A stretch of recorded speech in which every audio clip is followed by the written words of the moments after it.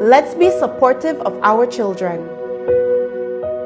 Child abuse takes many forms, such as physical abuse, neglect, sexual abuse, and even emotional abuse. If a child confides in you, believe them, be calm and supportive.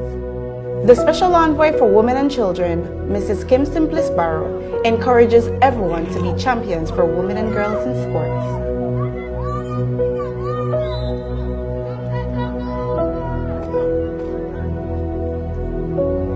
Encourage your kids, be their voice, and together we can end child abuse.